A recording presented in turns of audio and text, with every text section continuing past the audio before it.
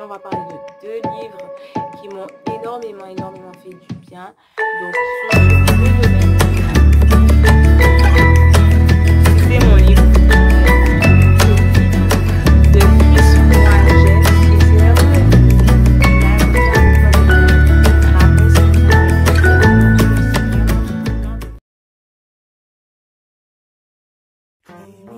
C'est Hello à tous, je vous retrouve aujourd'hui pour une revue littéraire. Donc je vais revoir euh, avec vous, je vais parler avec vous de deux livres en fait que j'ai lus récemment.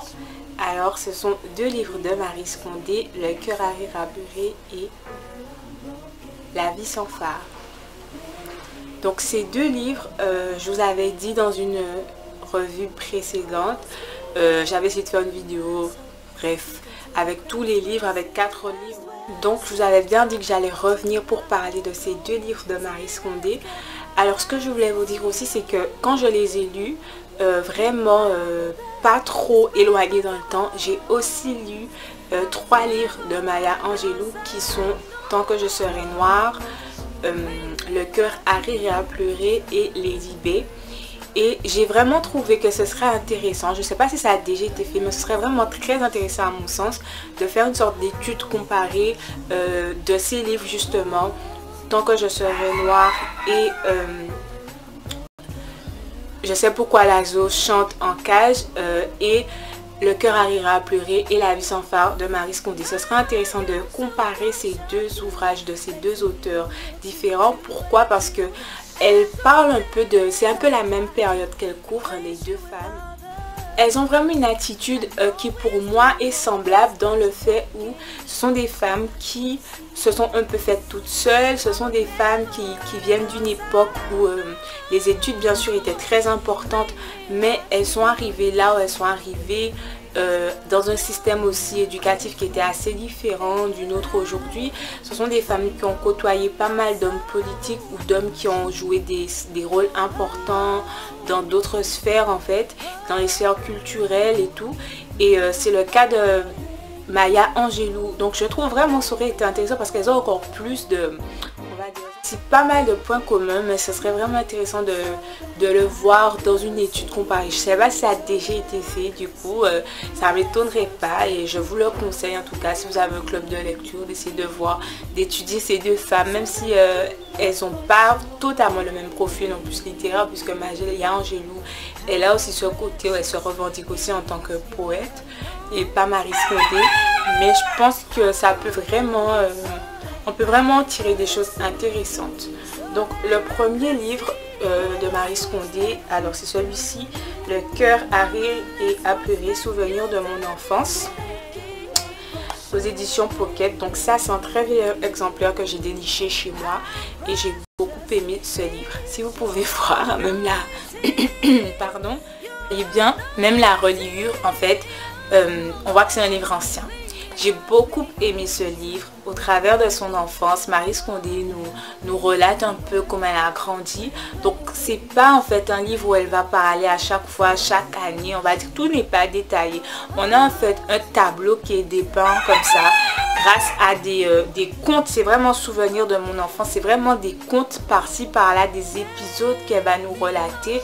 Donc on commence, on est un peu dans, on va dire sa petite enfance. Ensuite on arrive un peu dans tout ce qui est bon, 10 ans, 11 ans. Ensuite l'adolescence. Euh, et ensuite quand elle a dû partir en France. Donc moi j'ai trouvé ça vraiment super intéressant. Euh, son regard aussi dès l'enfance, a un regard un peu parfois décalé, j'ai envie de dire, surtout aussi sa relation avec sa mère qui est un peu, euh, qui est un peu particulière. On sent une forme de froideur, de respect, mais toujours beaucoup d'amour. Et j'ai trouvé ça archi intéressant. Ce que j'ai beaucoup aimé aussi, c'est ce regard un peu qu'on a de vieille Guadeloupe, de Guadeloupe des années, euh, temps passés. J'ai trouvé ça hyper intéressant. En général, c'est toujours une Guadeloupe qu'on aime découvrir. Et euh, il y a pas mal de choses assez intéressantes qu'on peut voir, même le regard, elle-même, elle, elle, s'appelle comme ça, j'étais une négresse et tout.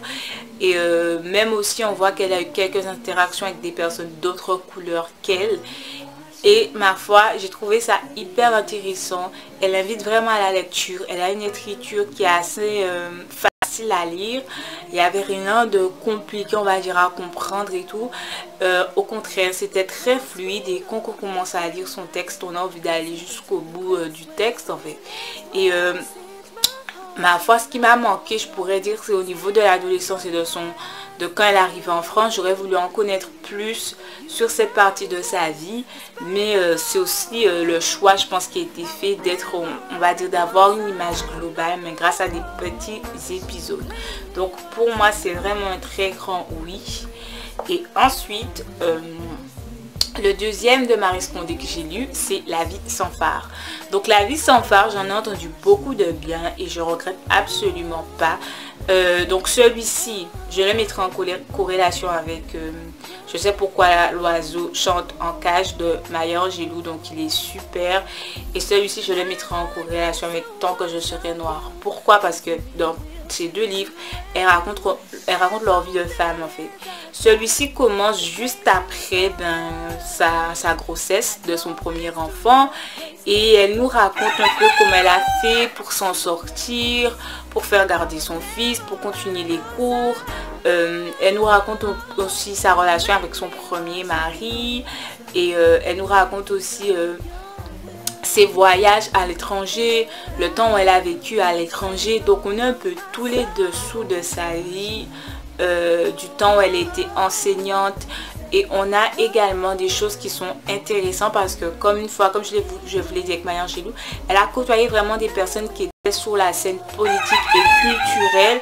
Donc on a aussi des petits bouts comme ça de l'histoire qui viennent s'inviter, euh, des petits bouts historiques en fait, qui viennent s'inviter à l'histoire à qu'elle nous raconte, à son histoire.